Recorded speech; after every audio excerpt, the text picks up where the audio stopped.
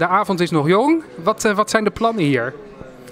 Nou, de plannen zijn om vanavond uh, hier uh, op de verdieping met de partijleden en de kandidaten een goede avond te hebben en het nieuws te volgen.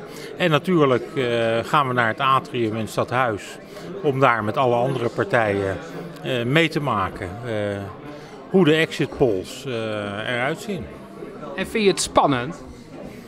Nee, niet zo eerlijk gezegd. Uh, maar ik vind het wel ontzettend leuk. Uh, ik ga er, maar dat, uh, dat zeg ik al maanden, vanuit dat we twee à drie zetels gaan halen in Den Haag.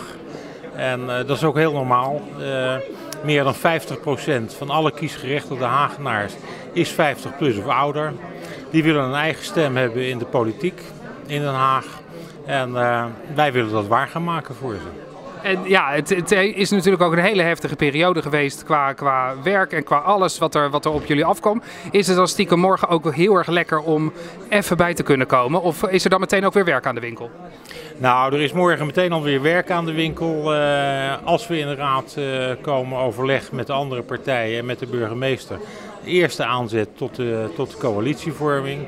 Wat betreft uh, vermoeidheid, helemaal geen last van gehad. Het geeft juist energie. Ik denk dat we een debat of 14 uh, gedaan hebben.